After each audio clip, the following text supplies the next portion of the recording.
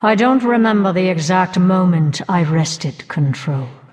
I do remember the rush of freedom.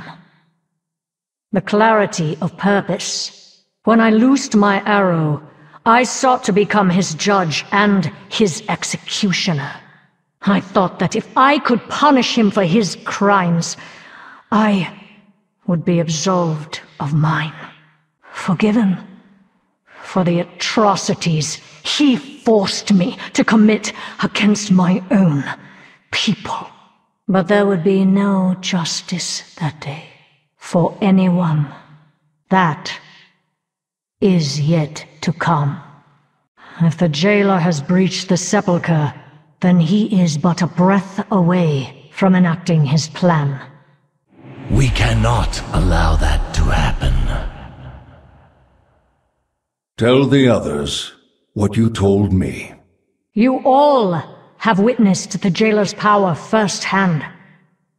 Without the means to resist his domination, we have no chance against him. Anduin may be the key, if we can save him from... You dare speak of freeing him after all you have done! Sylvanas held the Mournblade that bound him. Her presence may help free Anduin from the jailer's grasp. I will never trust her.